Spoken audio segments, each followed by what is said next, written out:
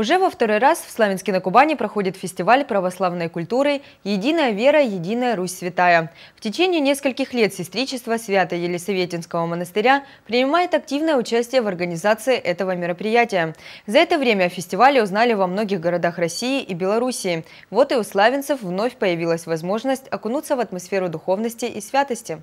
Православная выставка-ярмарка «Кладезь» – часть духовно-просветительской программы «Единая вера, единая Русь святая», организаторами которой являются Свято-Елисаветинский монастырь и сестричество города Минска. С любовью из Беларуси – таков девиз православной выставки-ярмарки. Мы представляем продукцию наших мастерских, которых у нас более 20.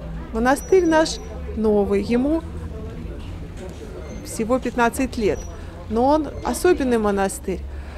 Особенный он тем, что он ведет огромную социальную деятельность. При монастыре существует два подворья – мужское и женское. На мужском подворье живет около 300 братьев. Это люди с тяжелыми судьбами, люди, которые прошли места заключений, люди, которые выходят из психоневрологических отделений, люди, которые страдают такими тяжелыми недугами, как алкоголизм, наркомания. И женское подворье. Там у нас около 40 человек, тоже женщины с такими же проблемами. Благодаря нашим вот выставкам-ярмаркам имеем возможность донести до людей результат трудов этих людей. Свято-Елизаветинский монастырь сегодня не просто одна из известнейших обителей Беларуси. Это целый город с процветающим производством. Иконы, книги и фильмы духовного содержания для детей и взрослых. Оригинальные изделия из керамики и цветного мозаичного стекла. Мази и бальзамы на травах. Монастырские чаи и мед. Вот далеко не полный перечень того, что производит монастырь. Сейчас я вам представляю иконы Божьей Матери. Это Владимирская икона Божьей Матери.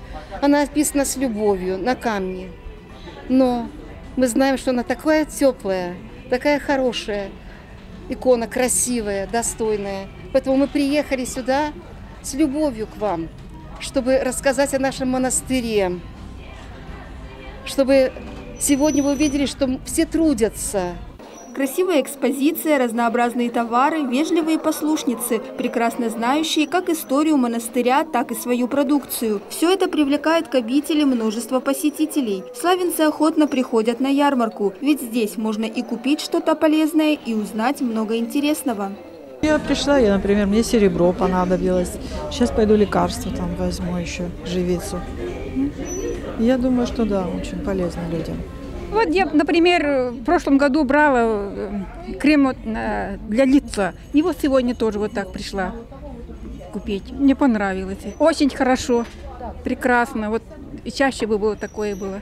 Я уже второй раз прихожу, и мне нравится эта продукция. Она качественная и помогает от болячек.